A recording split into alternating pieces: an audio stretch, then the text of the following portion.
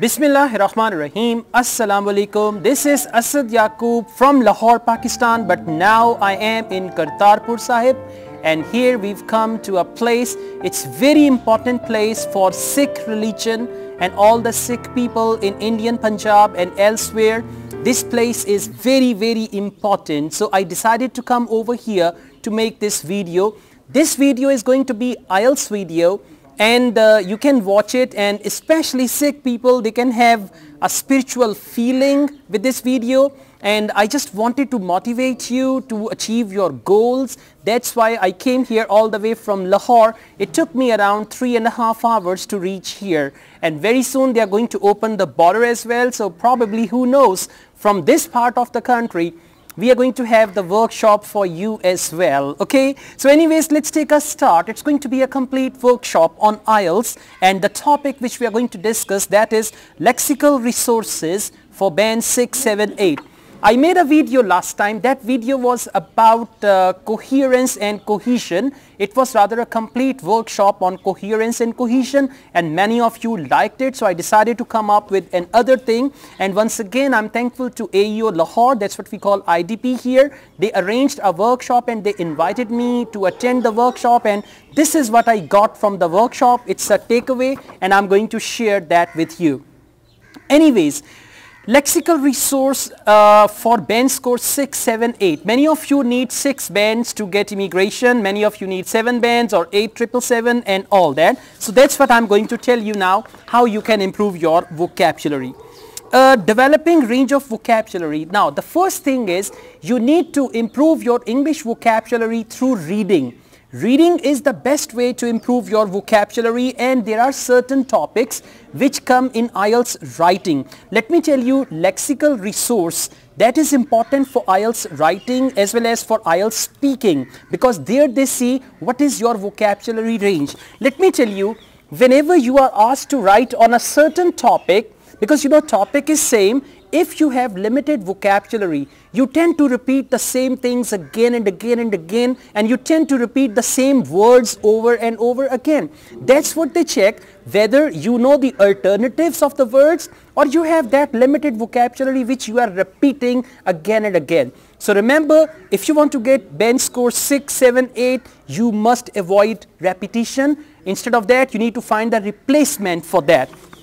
Anyways, now the common topics you need to read to improve your IELTS writing, especially uh, essay writing. The common topics are like technology, the environment, crime and justice, health, globalization, international development, education, transportation, traditional and uh, traditions and culture. So these are the nine hot topics in IELTS nowadays they always give you essays on these topics so you need to prepare yourself. I mean now for technology if you want to get good vocabulary for technology either you can read an essay on technology or second thing you can just read an article on technology that article can give you some new words which are related to technology. Now remember for example, if you're writing an essay and in the essay you're writing again and again technology, technology, technology, technology, examiners will get to know that this candidate has got a poor vocabulary and that will give you five bands or something like that. So you need to come up with alternatives, right?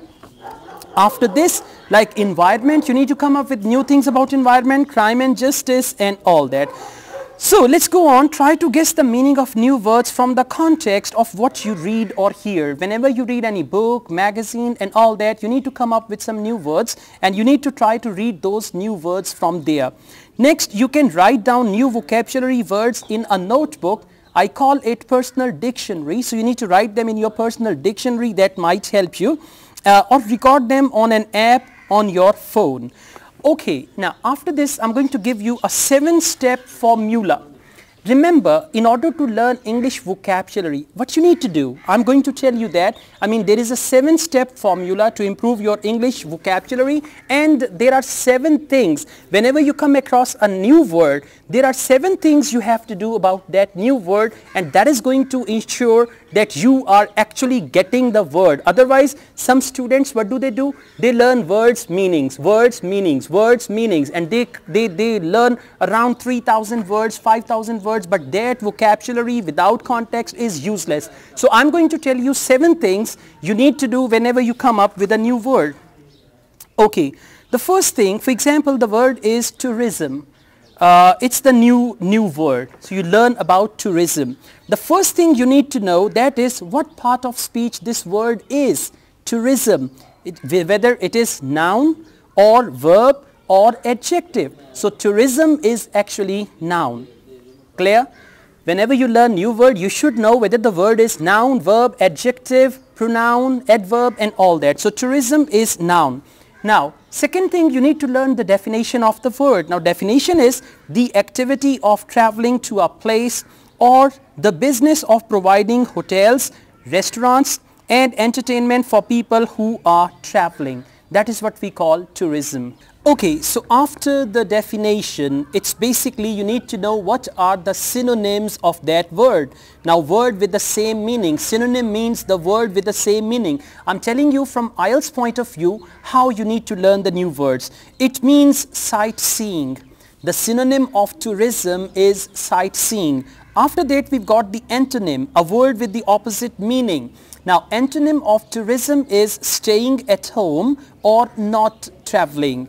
And then you need to see an example sentence. Remember, never learn a word without any example sentence of that word. That word is going to be useless for you if you learn the word without any example sentence. So here, example sentence is tourism is a booming business in many places of the world.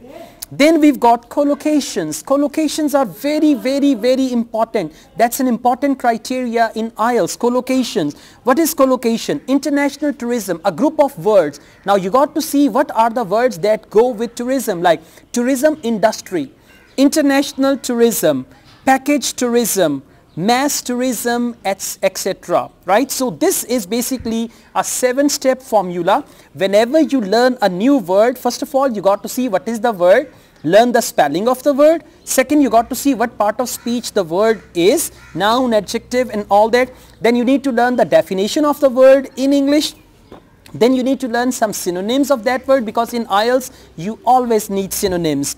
Then you need to learn some antonyms for contrast and then you got to find an example sentence of that word and obviously some collocations with that word. Thank you very much. If you like this video hit on the like button and don't forget to subscribe my channel. I also teach IELTS online. If you want to join my online IELTS classes you can contact me for that.